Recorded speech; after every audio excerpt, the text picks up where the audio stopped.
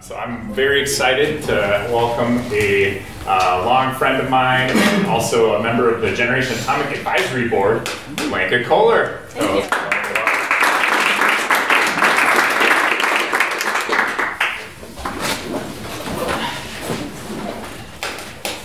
Hi everyone, I'm going to stand up here to make sure you can hear me since my voice isn't as loud as Eric's. So my name is Lenka Kollar. I work Power in the US. Um, we're based in Oregon, but I work out of our Washington, DC office. Um, my name is actually originally uh, Slovak, so I am from Slovakia um, originally and mainly grew up in the US. But one of the interesting things for me being here today talking about district heating is that the town where my family is from, Trnava, is close to the Bohunice nuclear power plant, which actually uses waste heat from the secondary, tertiary side of the plant um, to heat uh, the city in the winter. And my father actually worked on this project before we left Slovakia, so it's coming full circle now. Um, and when I moved to the US, uh, he was always saying, um, we were big environmentalists growing up, and he was always saying um, to be supportive of nuclear and not um, listen to many of the environmentalists in the US who were against it.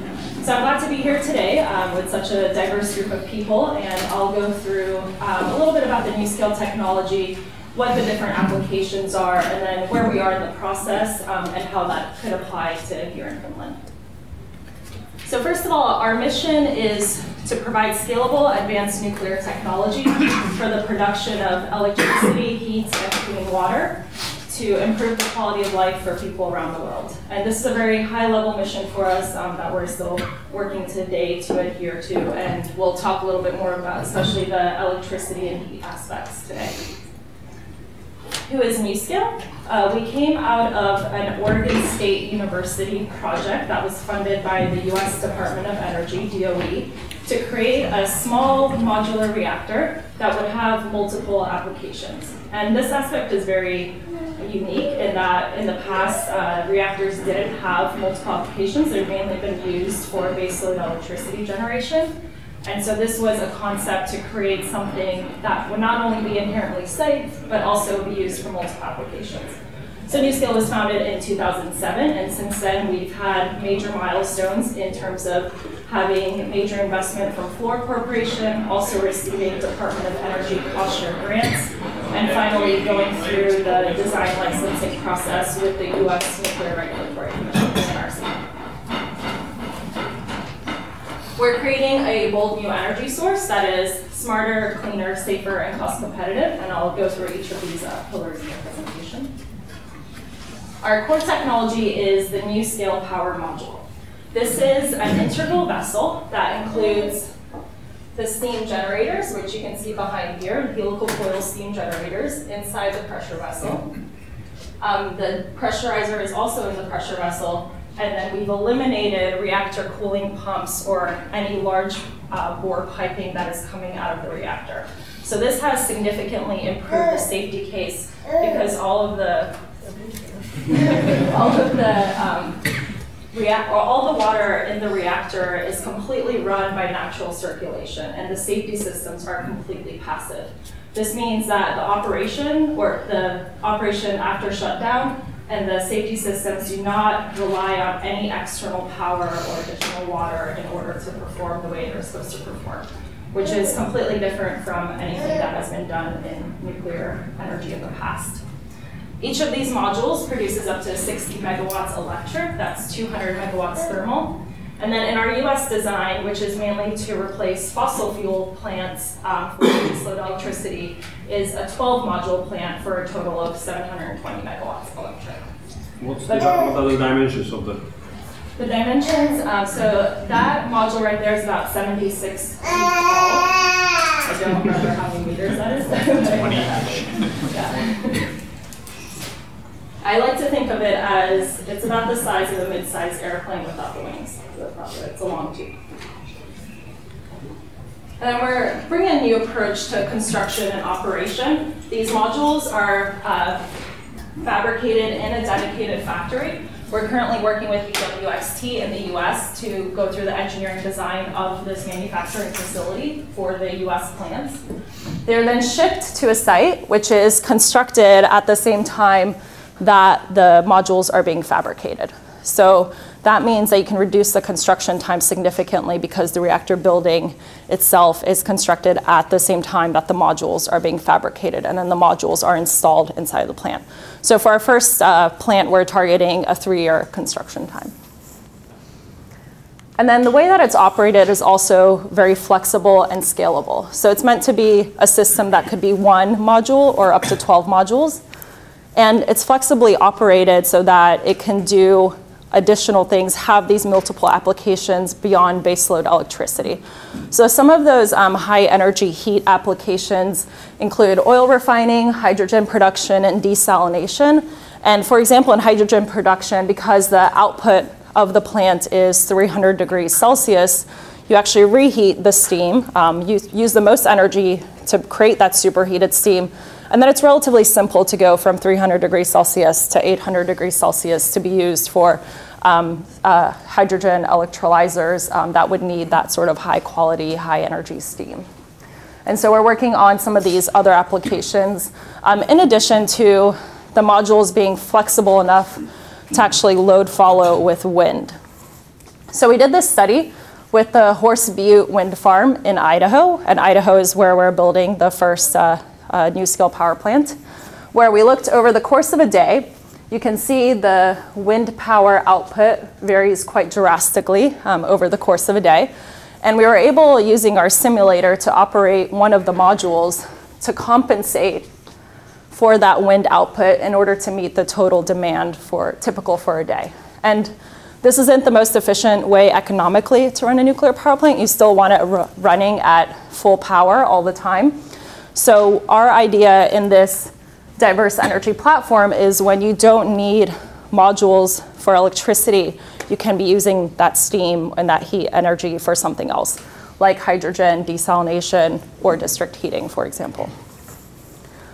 So speaking of district heating, I took this from Rauli's study on that he presented earlier today, um, which you already heard about, but I just wanted to point out that, for example, for Helsinki, about eight new NuScale power modules could provide combined heat and power to meet all the district heating need and then also provide a significant amount of power for the city. And we, with the system, we are creating something that's truly scalable and flexible. So that means it's adjusted to the needs of the city or the town that it's built in. And also there's been some talk about, you know, relying on maybe a single energy source for a city might be a risk because you want to distribute your energy sources.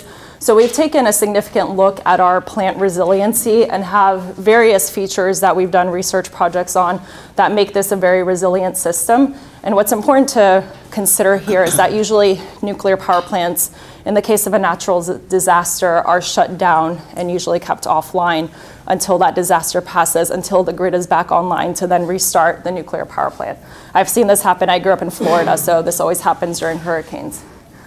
In the case of a NuScale plant, because you don't need any outside systems, any backup electricity to keep the plant safe and also to keep the plant operating, you can actually run on island mode and weather that disaster and then be able to black start the grid um, after the emergency is over. So this is an important capability that nuclear hasn't had in the past. So our current progress in commercialization we are the first SMR to undergo licensing in the US.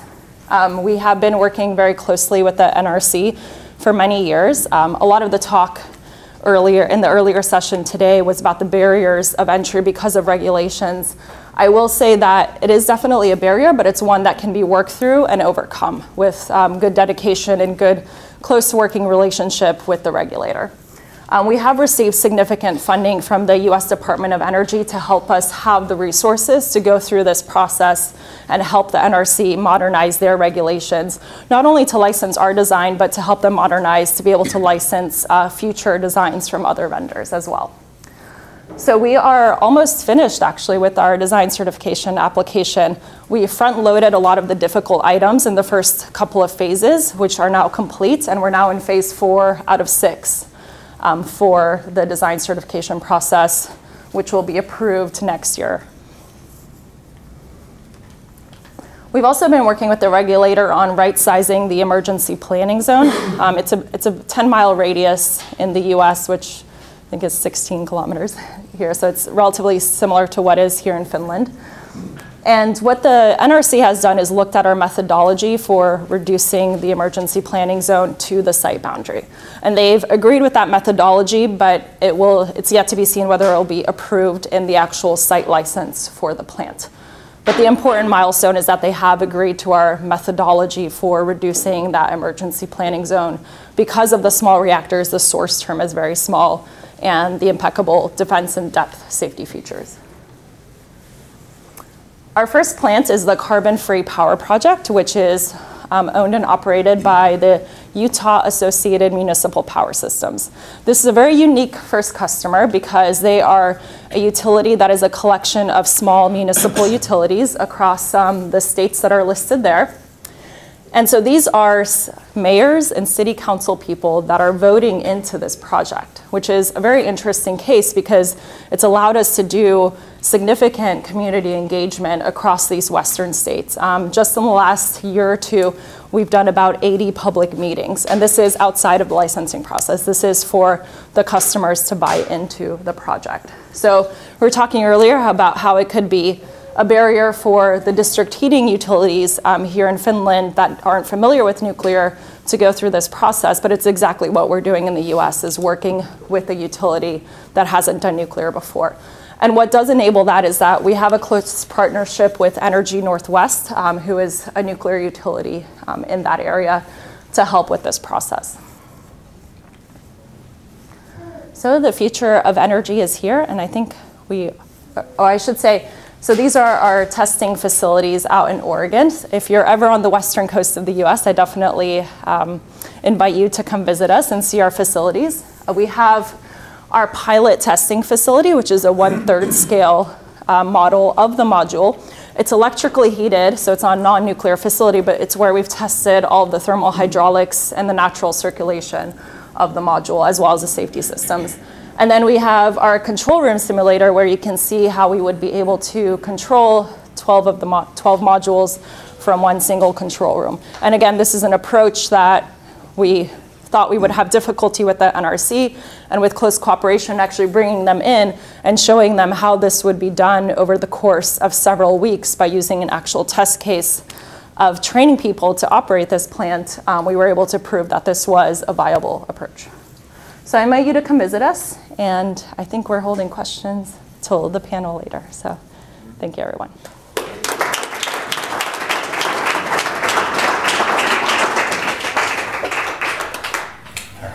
Thank you, Lenka.